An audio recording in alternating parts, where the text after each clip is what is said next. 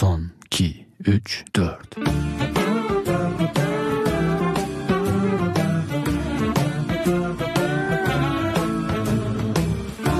Yanlışlarımdan ders alacak kadar olgun değilim. Bu yalan bir mecburiyet. Yoksa sana vurgun değilim. Ama gözlerinde bir ışık Kalbimin tıkırtısı içim içime sığmıyor Ya bu neyin kıpırtısı Dön yüzünü gökyüzüne Bak bir aşkın yıldızına. Ama Parlayacak sönecek biliyorum. Her şey olur her şey biter. Yıldız gökyüzünde kayar yeter Her şey olur her şey biter. Yalnızlık hep aynaları mesken tutar Son ellos, me están llamando. Tranquila, cálmate. Estoy bien, como me veis. Sí, Estoy guapa. mucho. Estás fantástica. Vale, échate un Suerte. poco para atrás, venga. Voy, perdón. Voy a contestar. Buenas tardes. Señorita Melek, Encantada de hablar con usted. acabo de revisar su currículum. Si le soy sincera, buscamos a alguien con más experiencia.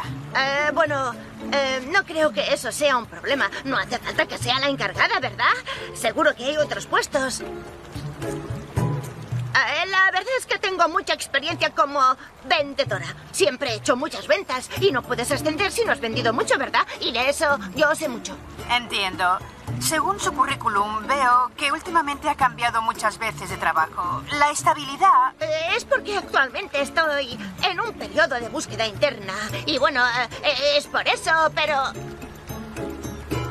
Ya está, ya me he encontrado, ahora sí. Ya no necesito ir en busca de nuevos retos, así que si me deja aquí y vuelve a los tres días, seguiré estando aquí. Quiero estabilidad. Soy dinámica. Y soy di- dina- di- di- di- di- di- muy dinámica.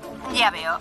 Pero como he dicho, buscamos a alguien con más experiencia. Le agradezco mucho su interés. Buenos días. No, pero... Gracias a usted.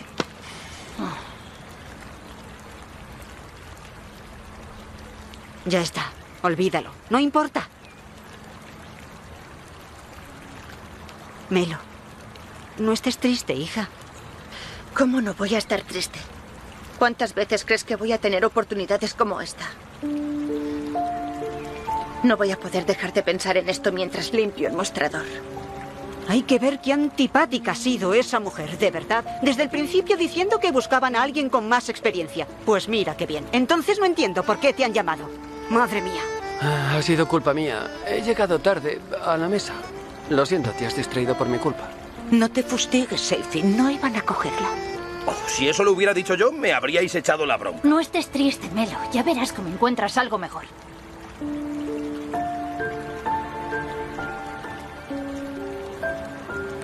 No, ¿qué va? Tienen razón. No tengo filtro. Sí, lo que pienso lo digo tal cual. Tengo que aprender a medir mis palabras. Vigilar lo que digo delante de alguna gente. Tengo que pensar. Me voy. Melo. Cariño. Creo que será mejor que la dejemos sola un rato. No tiene filtro, eso es verdad. ¿Quieres cerrar ya el pico o te lo cierro yo? Supongo que yo tampoco tengo filtro. Si lo tuviera, no haría estas cosas. ¿De qué filtro estás hablando? Es que no entiendo nada. Del filtro mental. Creo que eso. ¿Qué va? Lo tenemos controlado. Y el ¿Seguro? mercado sigue al alza. ¿Necesitas que haga algo más, cariño? Ah, no. Todo va bien gracias a ti. Eres la mejor. Entonces ya puedo descansar. Buena suerte. Gracias. Señor Serkan, venga por aquí. Venga, campeón. ¡Bravo!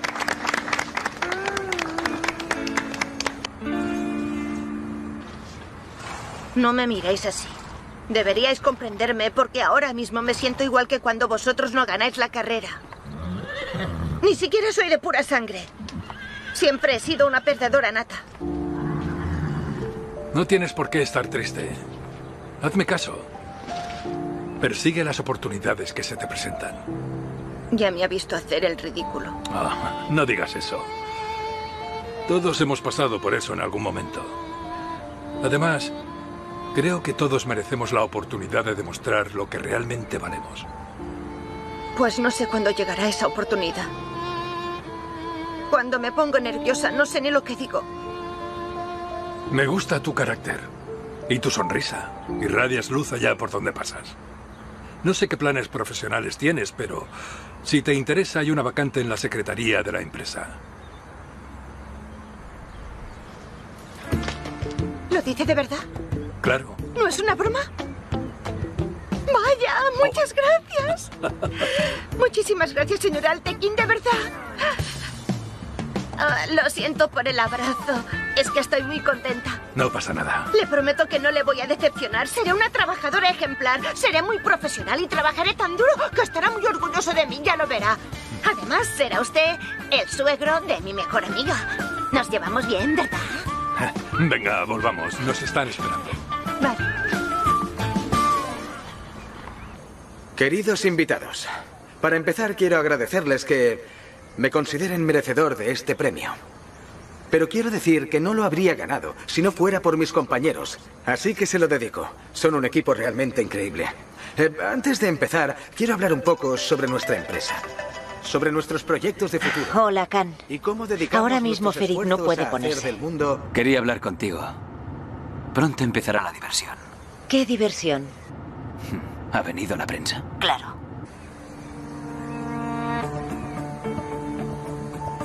¿Por qué hay tantos paparazzi? ¿Se puede saber qué has hecho, Khan?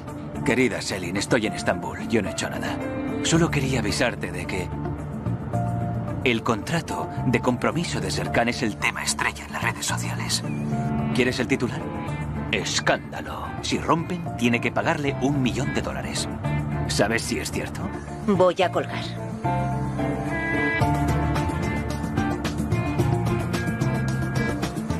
y es una filosofía Refuercen la seguridad de la entrada rápido. Como ya sabrán, el proyecto que llevamos a cabo en Japón Ven conmigo, tenemos un problema. fue ¿Qué pasa, todo un éxito. Ganamos muchos premios. ¿Qué ocurre? Hay un montón de paparazzis. Invitamos a la prensa, así que los de seguridad les dejarán pasar. Que vengan. ¿Qué pasa? ¿Supone algún problema? Eh, se están publicando varios rumores sobre Serkan y tú. Eh, algunos dicen que te has prometido con él por su dinero y que Serkan te ha obligado a firmar un contrato por ello. ¿Qué? ¿Y por qué se inventan esas tonterías? Un momento, déjame leer esto. No sé de dónde lo han sacado, pero aquí dice que siempre que ella quiera, Serkan tiene que comprarle joyas a Eda. ¿Pero de qué van? Un momento, esto era lo del chocolate. Era sobre chocolate. Lo escribí para hacer enfadar a Serkan. En ningún momento pedí joyas. No quiero su dinero para nada. ¿Qué voy a hacer con su dinero? Esto no tiene sentido. No entiendo cómo la gente puede ser tan mala. Vale. Eda, tienes que ir ahí y desmentirlo todo. Es la única opción. Te has vuelto loca, Celine. No puedo hacer eso jamás. Eda, no podemos decirle nada a Serkan. Le van a dar un premio y va a firmar un contrato muy importante, ¿vale? Ahora, no puede hacer frente a esto. No puede con todo. Tienes razón, pero hay que pensar qué hacemos, Selin. Solo se me ocurre que Eda hable con ellos. Sal y di que todo es falso, que lo sientes y que Serkan no sabe nada. Pide perdón, no sé, lo que sea. Pero tienes que hacer algo. Después se irán. Me encargaré de que sea rápido. Te lo prometo, es mi trabajo. Pero es que eso no es verdad. Yo no dije nada de joyas, solo de chocolate. ¿Y si Serkan no quiere qué? Siempre huye de la prensa. Si me pregunta que por qué he hablado con ellos, ¿qué le digo? Eda tiene razón, Selin. No podemos arrojarla a los lobos. Nunca se ha enfrentado a algo así. No está lista, no puede hacerlo, no puede, olvídalo. Ya lo sé, pero ellos quieren a Eda. Tiene que ir a decirles algo. Eda, si Serkan te importa, habla con ellos. Yo me encargo del resto, haré que se vayan. Déjalo, no lo hagas. No hace falta que vayas. Ya iremos nosotros. Cuando estás tensa a veces te desmayas y no queremos que te pase eso delante de ellos. No vayas. Eda, si nos aprecias aunque sea un poco, sal y habla. Confía en mí. Quiero dar las gracias. Ya no puedo explicar nada coherente sobre ti a la prensa, así que te harás pasar por mi prometida. Lo ocurrido es culpa tuya. Me has desacreditado y tienes que compensarme. Esperad aquí. I treat your heart so tenderly. Lay gifts of love down at your feet.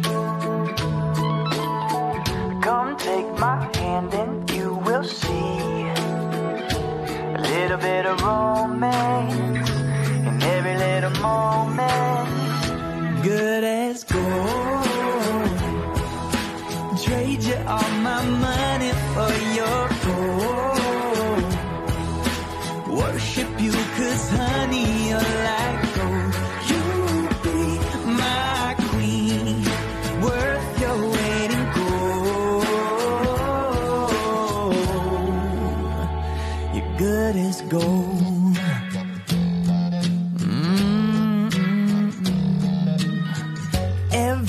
Wants a love that shines.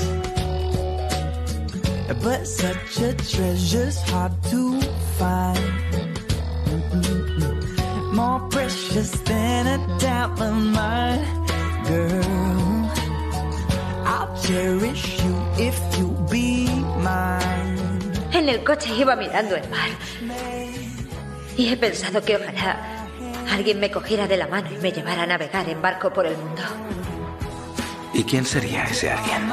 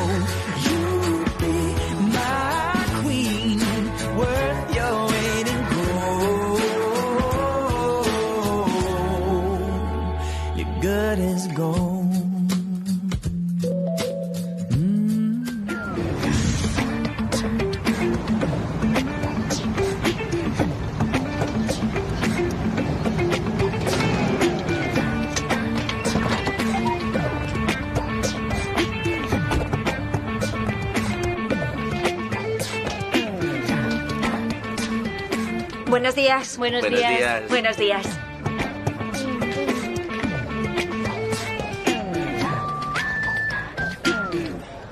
¿El señor Serkan no está? Buenos días. ¿Qué te ha pasado? Eh, un accidente, no es nada. ¿No lo sabes? ¿Qué tendría que saber? Serkan no va a venir hoy. ¿Por qué no va a venir? ¿Está enfermo? ¿El señor Serkan enfermo? Nos haría pasar por una cuarentena si coge la gripe. Entonces, ¿por qué no viene? Decídmelo. Es un misterio que no he sido capaz de resolver. Mira, todos los años, el 19 de agosto, el señor Serkan Bolat no viene a trabajar. Y ninguno de nosotros sabe por qué. ¿Tú tampoco lo sabes? No, Eda. El caso es que hoy es el día en el que Serkan no viene. No sé dónde está ni lo que está haciendo. Hmm. Ajá. Pues quién lo sabe.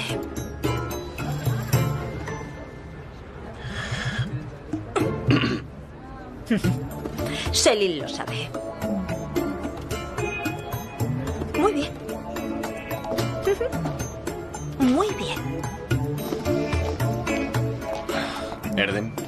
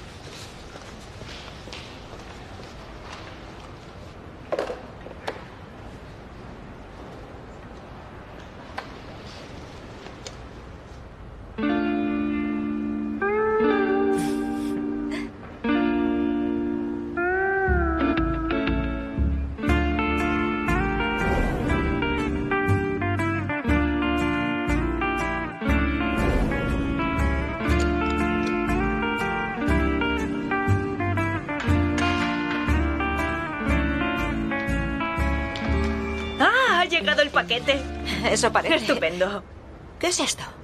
Es el reloj que el señor Serkan quería. Mide el ritmo cardíaco, la presión, los pasos que das y la respiración. Lo último. ¿Trata de controlar hasta las respiraciones que hace? Bueno, así es él. Ay, le diré a Erdem que lo programe antes de que llegue el señor Serkan. Una cosa, el equipo está ahora reunido con un cliente. ¿Podríamos ir a tomar un café? De acuerdo, vamos. La oficina está muy tranquila cuando el señor Serkan no está. No sé cómo lo llamarías tú, pero aquí lo llamamos paz. ¿Por qué no habla con nosotros? No lo sé, puede que le avergüence pedir algo para el cumpleaños de su mujer. Se lo quería pedir a Serkan. No podemos perder al señor Ficret. Pero es imposible en un día. ¿Qué dices? Que es uno de nuestros clientes más importantes. Si no podemos terminar esta tarea a tiempo, quedaremos desacreditados. Hay que decirle la verdad, que no hay tiempo. ¿Vale? Bueno, Eda, como te lo ha pedido a ti, tienes que decirle tú que esto que nos está pidiendo no es posible hacerlo en tan poco tiempo. Tranquila, iré en cinco minutos y le explicaré los motivos de por qué no se puede hacer, ¿vale? Vendrás, ¿verdad? Claro. Vale, se lo diré yo entonces.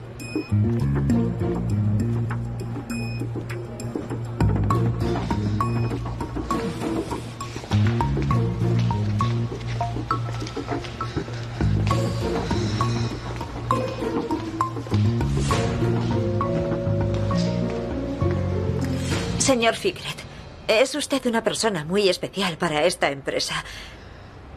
Pero he hablado con el equipo y dicen que no es posible hacerlo todo en un tiempo tan limitado. El señor Engin vendrá ahora y le explicará todos los detalles. Comprendo. Mi esposa estuvo muy enferma el año pasado. Su vida corrió peligro. No se lo hemos dicho a nadie. Lo siento mucho. Se recuperó, pero fue difícil. Por las tardes escuchábamos las canciones de Sefda. Y le prometí que si superaba la enfermedad, traería Sefda para su fiesta de cumpleaños. Por aquel entonces, no sabíamos si seguiría viva o no. Siempre soñamos con esta celebración, pero cuando nos llegó la lista de Sefda,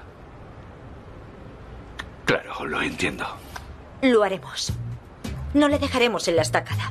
¿Seguro? Si esto es tan importante para usted, pienso hacer todo lo posible. Seguro que nuestro equipo hará todo lo que pueda. Al menos podremos decir que lo intentamos. Eda, muchas gracias. A mí me basta. Pagaré todos los gastos, claro. ¿Y si no lo conseguimos? Mejor intentarlo. Te estoy agradecido. La casa que hay que decorar no ha estado habitada desde hace mucho tiempo. Te enviaré a un chofer con la llave.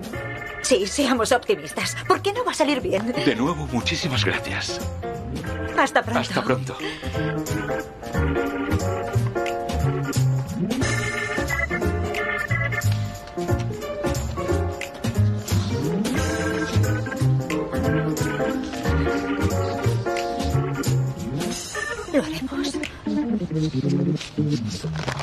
Sin duda. Eda, ¿cómo has podido hacer esto? El señor Serkan se va a poner furioso. ¿Y tú te quejabas de que su actitud era agresiva? Te vas a enterar ahora de lo que es agresividad. Sus anteriores actitudes agresivas te van a parecer algodón de azúcar en comparación. Vamos, no digáis eso. Ya he aceptado la tarea. Hola. Eh, ¿Dónde está el señor Ficret? Ya se ha marchado. Lástima. Se habrá ido molesto. Iba a explicarle los motivos después de que le dijeras que no, pero no he podido. ¿Con quién ibas a hablar? Ah, pero, colega, ¿qué haces hoy en la oficina? ¿No se suponía que hoy no venías? ¿Por qué has venido?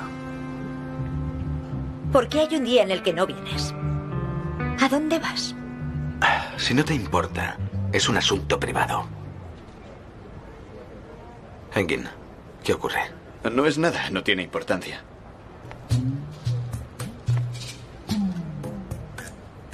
Estoy observando la cara del señor Serkan a ver si descubro por qué ha venido hoy a la oficina.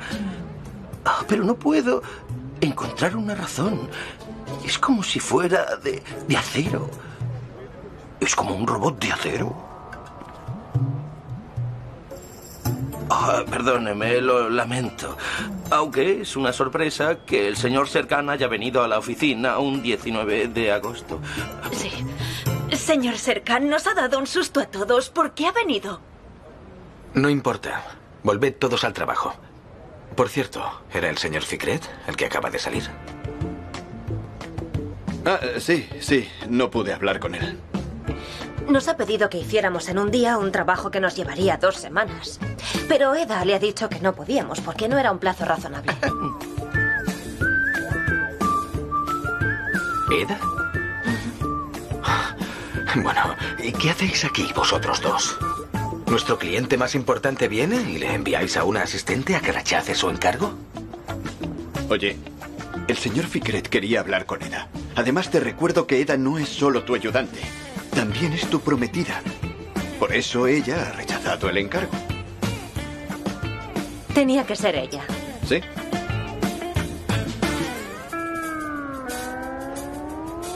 Por cierto, ¿cómo lo has hecho? Eda, le habrás dicho que no. claro que le ha dicho que no. Eda. ¿Qué has hecho? Increíble. Es increíble. ¿Cómo has podido cometer semejante error? Iba a decirle al señor Ficret que no podíamos hacerlo, pero cuando le vi no fui capaz y le dije que lo intentaríamos. Estamos hablando de decorar una casa con 120 directrices en solo 24 horas. Engin y Piril ya te habían dicho que no era posible. ¿Por qué has tomado tú esa Es decisión? horrible. Ahora mismo estamos al borde del desastre. Se están peleando. Yo creo que de ese despacho solo saldrá vivo uno de los dos. Bueno, quizá no. Quizá salga un cuerpo con dos cabezas, es decir, cuatro ojos y cuatro piernas. Están ocurriendo cosas tan extrañas últimamente. Si le hubieras visto, estarías de acuerdo conmigo. ¿Y por qué? ¿Es que no eres consciente de que me has dejado en evidencia? Mi carrera está en juego aquí por tu culpa. Tal vez hay cosas más importantes que una carrera. Mira, eres solo una asistente, ¿te queda claro? Por eso, no puedes ignorar una decisión que otros han tomado y actuar por cuenta propia. De acuerdo, pero la situación no es esa. Llamarás al señor Ficret, le pedirás disculpas y le dirás que este proyecto no puede hacerse. No, no voy a hacer tal cosa. No tienes ni idea de lo triste que se pondría. Lo hace por su mujer que estuvo muy enferma. Y esa cantante es muy importante para ella. Lo entenderías si me escucharas. ¿En serio? Es que no te entiendo. No puedo. De verdad, no te entiendo. Eres increíble. ¿Cómo puedes darle esperanzas para luego tener que decirle que no se puede hacer nada de lo que nos ha pedido? ¿Es que no se te ha ocurrido? Vas a decepcionar a su mujer todavía más. Pero al menos sé que lo habré intentado. Él entenderá que hago un esfuerzo por ella y se sentirá mejor, es lo importante. Pero eso tú no lo puedes entender. Estás habituado a que todo sea perfecto. Gracias a esa exigencia, tú trabajas en un estudio de arquitectura de mucho éxito. ¿Es que no eres consciente? ¿No lo entiendes? Por eso llamarás ahora al señor Ficret y le dirás que no es posible hacer lo que nos pide. Llámalo tú. Te recuerdo que tú has cometido este error y tú le has hecho esa promesa. Por lo tanto, acepta tu responsabilidad y llama al señor Ficret. Lo diré solo una vez, Serkan Bolat. Una vez que hago una promesa, la cumplo. Oh. Prefiero morir a faltar a mi palabra. ¿En serio? Muy bien. Entonces te doy cinco horas, ¿de acuerdo? Eso sí, inténtalo tú solita. No le pidas ayuda a nadie de la plantilla y aprende la lección. Después vienes aquí y te disculpas ante todo el equipo. Vale, lo haré. Ya lo verás. Lo haré. Y juro que no tendré que disculparme ante nadie. Además, no sabes cuánto te odio, Serkan Bolat. Me voy. Vete, por favor, vete.